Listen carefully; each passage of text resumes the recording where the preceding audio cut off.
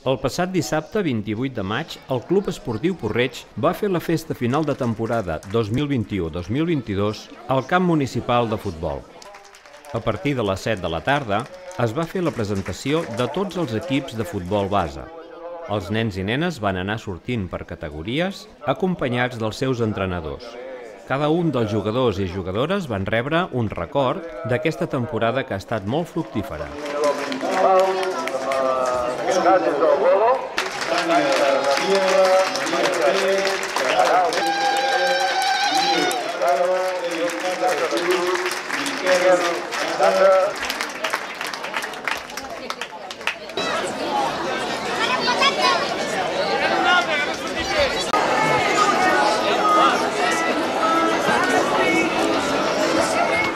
El club va fer instal·lar uns inflables a la mateixa gespa que va ser l'entreteniment de tota la quitxalla.